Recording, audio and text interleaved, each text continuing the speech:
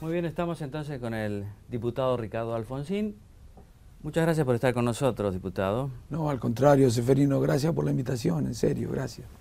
Y te voy a tutear. Sí, listo, por favor. Quería preguntar, te vi mucho el lunes ocupando distintas pantallas en el 38 aniversario del golpe de Estado. ¿Qué, qué reflexión te merece la forma que lo estamos recordando? Me parece que es muy importante porque hay distintas miradas y coincido con lo que vos decís. Eh, yo creo que la memoria no tiene por qué ser sesgada ni selectiva. Todorov dice la historia no es ni sesgada ni selectiva, la memoria sí, no necesariamente, no leí el artículo de Todorov, ¿no? Pero este, yo creo que hay que... La memoria es de alguna manera un acto de justicia también, porque el olvido es una injusticia. Y la memoria es eh, eh, la manera de enfrentar desde la justicia ese olvido, la injusticia. pero a todos, ¿eh? todos los que fueron víctimas de, sufrimientos, todos los que fueron víctimas de actos de violencia. ¿También las víctimas de las guerrillas? También, por supuesto, cómo no. No se pueden establecer equiparaciones en cuanto a la responsabilidad de, la guerrilla con la del Estado, porque el Estado lo que debe hacer es cuidarte de eso, no, no transformarse en lo mismo que quiere controlar. No, no, no, que no se me entienda mal y que espero que los vivos de siempre no traten de, quitarle significado a lo que digo. Ahora, injusticia es injusticia, el sufrimiento es sufrimiento. A mí me parece que hay que, y sobre todo, bueno, no recordemos casos, pero hubo gente absolutamente inocente, no tenía absolutamente nada que ver, incluso este, fueron blancos de, la guerrilla.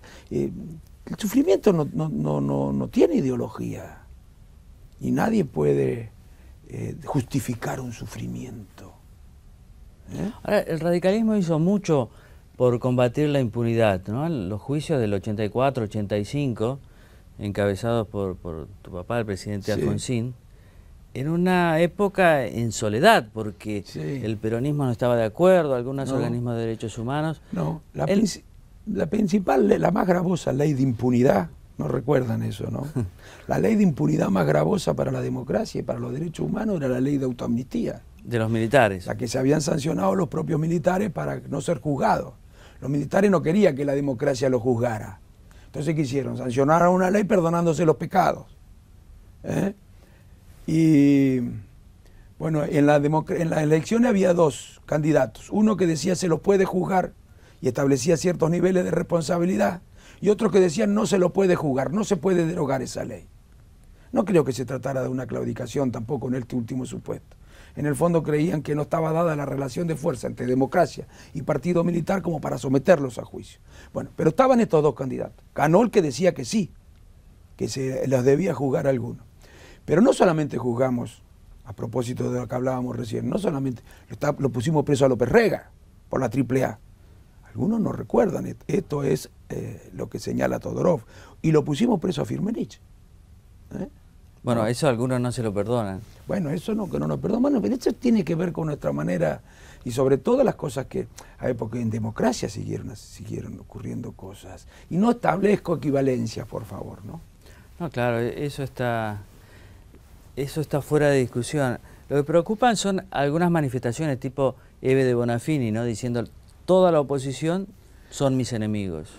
Bueno, yo no sé, este, yo no tengo esa, esa manera de, manejarme este, en la vida. Yo el que piensa de manera distinta no lo considero un amigo. la, idea misma de enemistad está asociada a sentimientos, que no son los más apropiados para ser un dirigente, me parece, ¿no? A sentimientos negativos, a veces de revancha. Bueno, es muy difícil hablar de quien sufrió, pero de esa manera, pero también el que sufrió eh, tiene que cuidarse de, tener siempre la misma autoridad que le da el sufrimiento para eh, poder dirigirse a los demás, ¿no? Claro, en realidad la política democrática no, divide entre amigos y enemigos. No. Porque siempre hay una posibilidad de negociar, de acordar y considera legítimos los intereses de los otros. Claro, bueno, en definitiva nadie es dueño de la verdad. ¿Quién es dueño de la verdad? A mí hasta que no me demuestren que estoy equivocado, no me van a hacer cambiar de manera de pensar. Pero el que se siente dueño de la verdad, además, acompaña este sentimiento, el sentirse dueño de la verdad, este sentimiento está acompañado de cierta desprecio ¿eh? y cierta mm, subestimación y menosprecio eh, respecto de quien piensa diferente. Y a veces eh, eso se transforma en enemistad. La enemistad enciende los espíritus, aparecen las emociones. Te cuento algo, Seferino. Ayer se discutió la integración de la Comisión de Educación.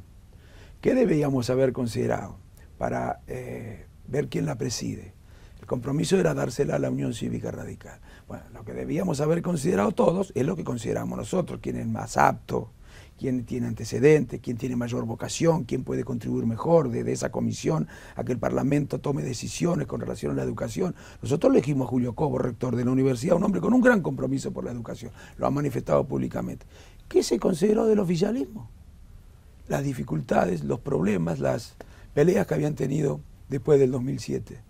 ¿eh? Y en un contexto en el que la educación está atravesando el problema que atraviesa, dijeron que no podían cumplir con el compromiso o mejor dicho, dicen que a Cobo no, lo vetan. ¿Por qué?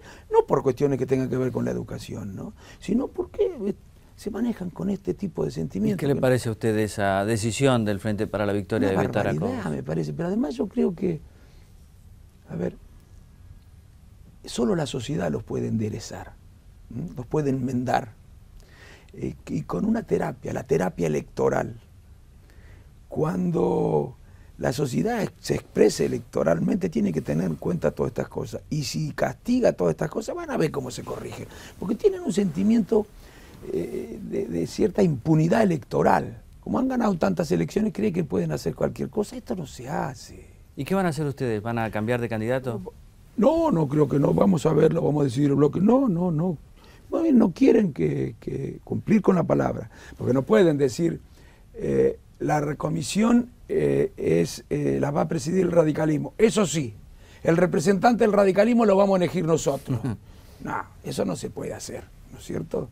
Este, así que, a mí me parece una barbaridad. Bueno, pero esas son cosas que revelan cierta manera de concebir cuáles son los límites de la política. Eso no se hace, pero ni en la vida, ni el rencor, ni la revancha son los mejores consejeros. Mencionabas el 2015. El 2015, ¿vos crees que el no peronismo, concretamente ustedes con sus aliados, tienen oportunidad de volver a gobernar el país? Sí, yo, mira, hay dos cosas que yo creo que no serían las mejores para el país, Seferino, y lo digo con respeto, pero lo pienso, por eso no estoy en ninguno de esos partidos. Una cosa que no sería la mejor para el país es un triunfo del oficialismo, más de lo mismo. Y le van a aplicar una terapia de shock electoral para que eh, eh, eh, hagan correcciones hacia adelante, ¿no? Y la otra cosa que no sería la mejor para el país es una restauración de los 90, desde mi punto de vista. Que sería Macri. junto con el Frente Renovador. Ah, el PRO y el Frente Renovador, desde mi punto de vista. Massa también sería una. Sí, no tengo ninguna duda. Bueno, estuvieron muy cerca. En realidad todos estuvieron formando parte de los gobiernos de los 90, ¿no? Pero eh, para mí tiene. Nada se repite textualmente. Pero volver atrás no.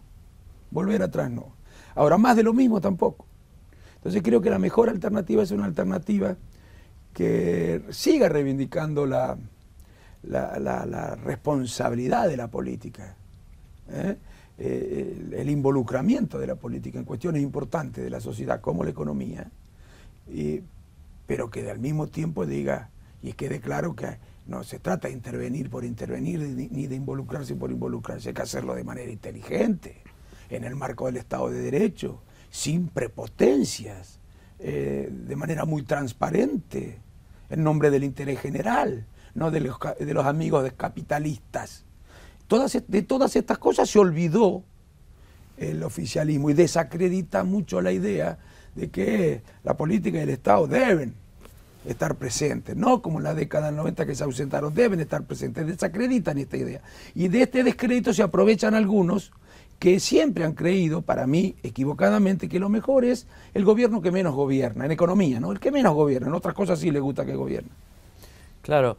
Ahora la paradoja es, este gobierno reivindica el papel del Estado en la sociedad, en la economía, pero al mismo tiempo hay problemas en tareas básicas del Estado. Por ejemplo, las clases no empiezan, ah, la inseguridad.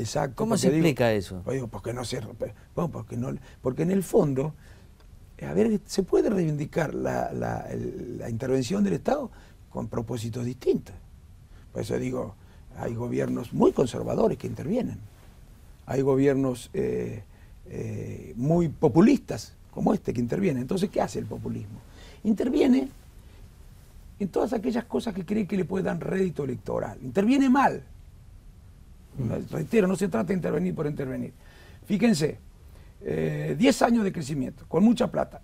Momentos de vacas gordas. Los momentos de vacas gordas, con mucha plata, son los más los ideales para encarar transformaciones importantes, sanear la economía, para hacer una economía sana que, que tenga posibilidad de sostenerse en el tiempo.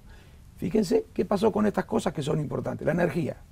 Producimos menos que cuando empezaba, antes de que empezaran a gobernar, antes del crecimiento. 10 años de crecimiento. Los transportes ferroviarios heredaron un sistema malo. Y eso tiene que ver con la competitividad de la economía. Está peor que antes del crecimiento.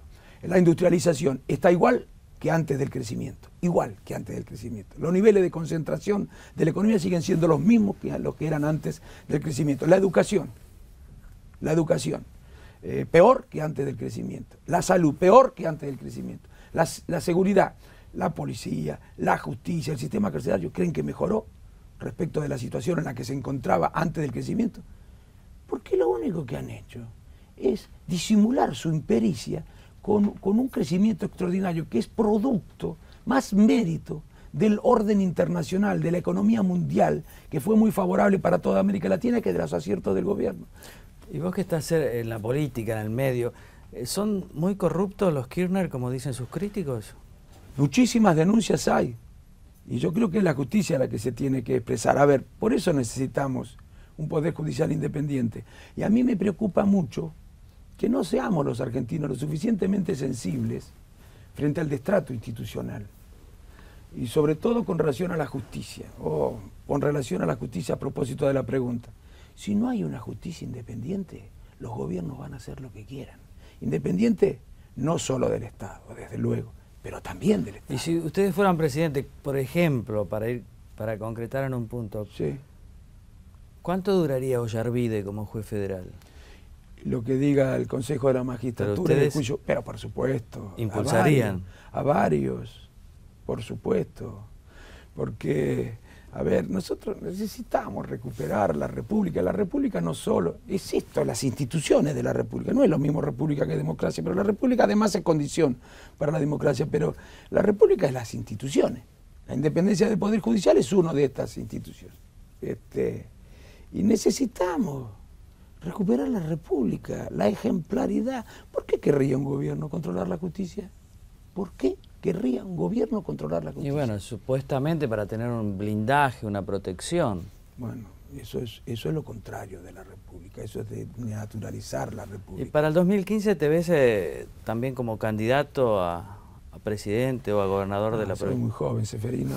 Voy a esperar que pasen algunos años más Tal vez en el 2019 veremos. ¿En, el 2000, en la provincia de Buenos Aires tienen candidatos ya sí, a gobernador? Sí, sí, hay, bueno, yo formo parte de un, espacio y algunos amigos en el espacio están acompañando la candidatura de, Miguel Base. Miguel Base es un hombre que fue ya candidato a vicegobernador con Margarita Stolbizer, fue, es, es actualmente diputado nacional y vicepresidente de la Comisión de Presupuestos, fue presidente de la Comisión de Presupuesto y uno de los hombres que desde mi punto de vista conoce eh, más la provincia de Buenos Aires en lo que tiene que ver no solamente con, su estructura estatal, las cuentas públicas, los servicios, sino también con la producción, con el sistema productivo, privado de la Argentina. ¿no? Es un hombre que tiene una gran preocupación además por los temas de seguridad. Se ha especializado también en estas cuestiones relativas a la seguridad.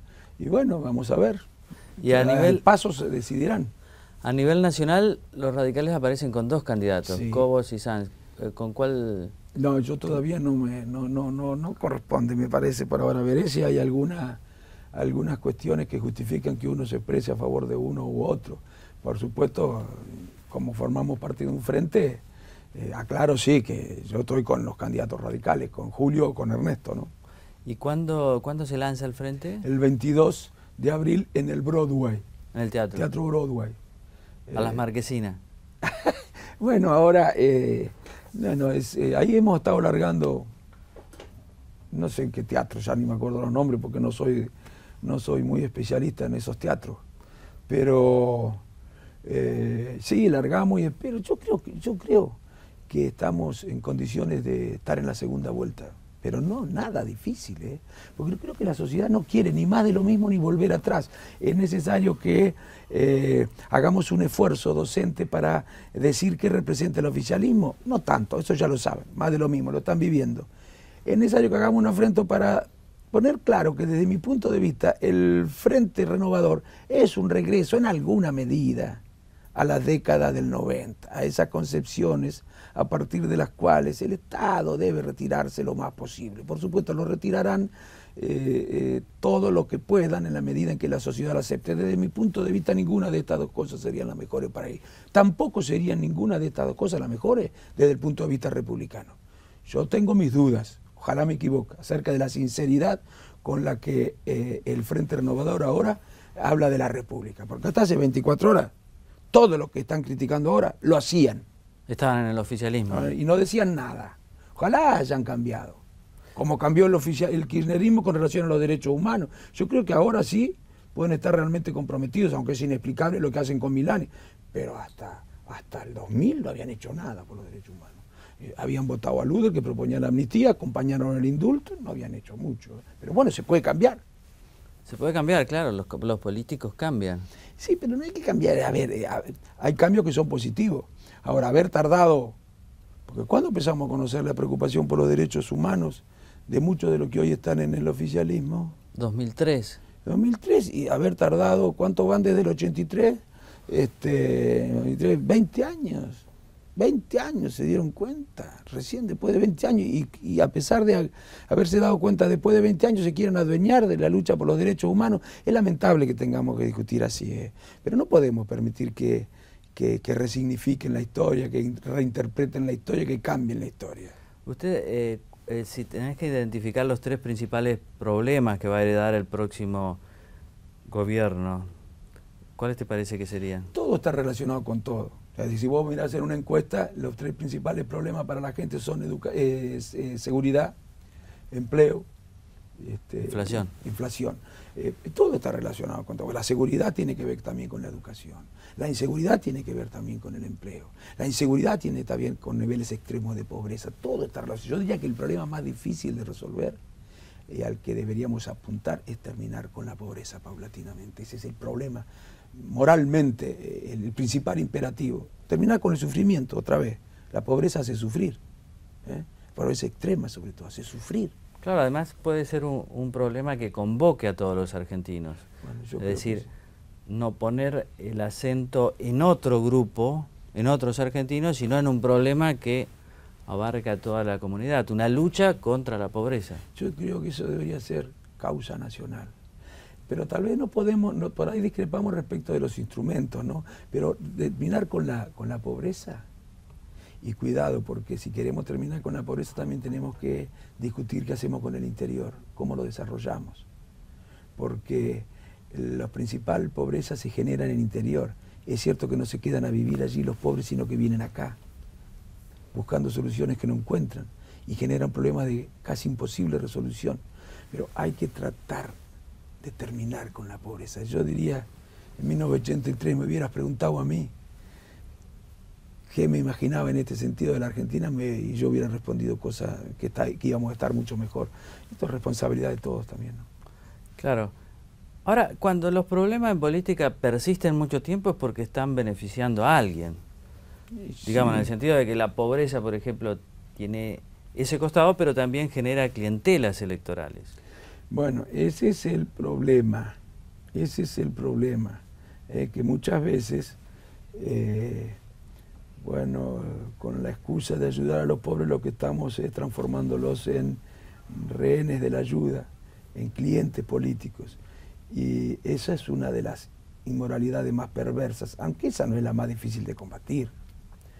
Eh, lo más difícil es lograr que la sociedad toda mayoritariamente esté dispuesta a acompañar un esfuerzo para ir terminando con la pobreza. Hay que hacer un esfuerzo. Hay que gobernar, yo diría, desde la mirada de los que sufren. ¿eh? Por eso ningún recurso del Estado debería ser asignado si no tiene por objeto resolver algún sufrimiento o contribuir directa o indirectamente a resolver un sufrimiento. Hay despilfarros ¿eh? que son dificilísimos de explicar desde un punto de vista ético.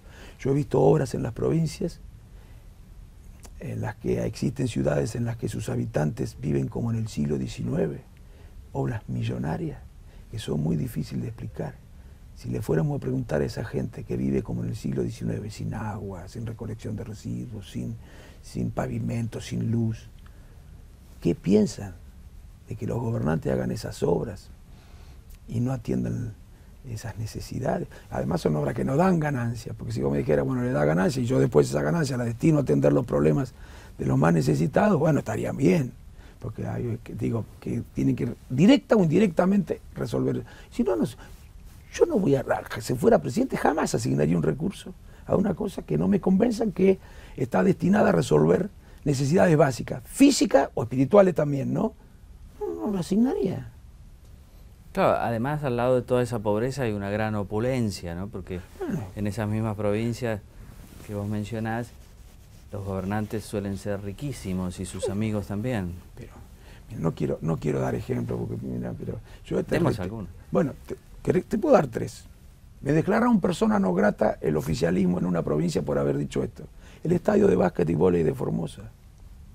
Mm. Entonces me dijeron... Lo conozco, el polideportivo. Sí, hecho con plata del gobierno nacional.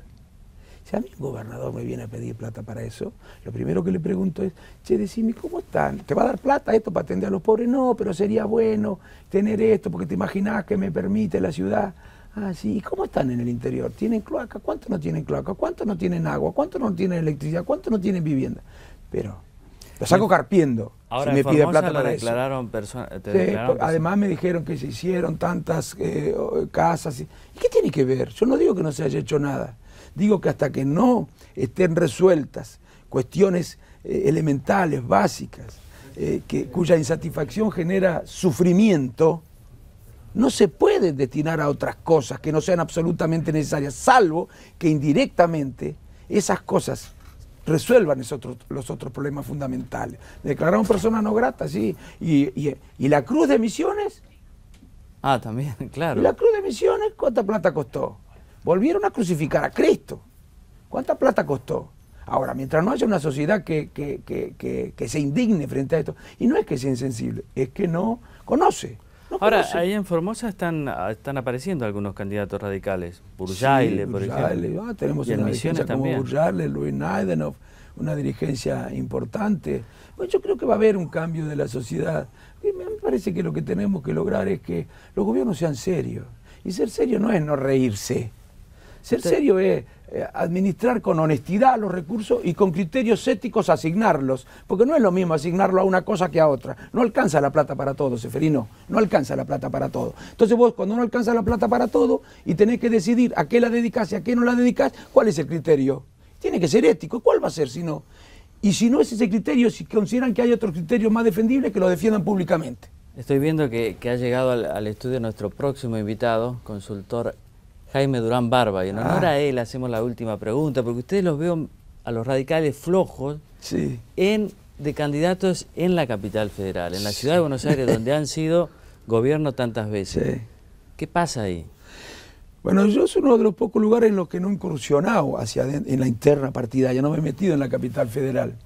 Pero creo realmente que tenemos que, que volver a conectarnos con, un electorado que en principio debería sentirse muy representado por el conjunto, el sistema de ideas y de valores que representa la Unión Cívica Radical. Bueno, hay que hacer un trabajo y una autocrítica, pero no por los medios. ¿eh? La tenemos que hacer, y con mucha seriedad tampoco para quedar bien con la gente. ¿eh?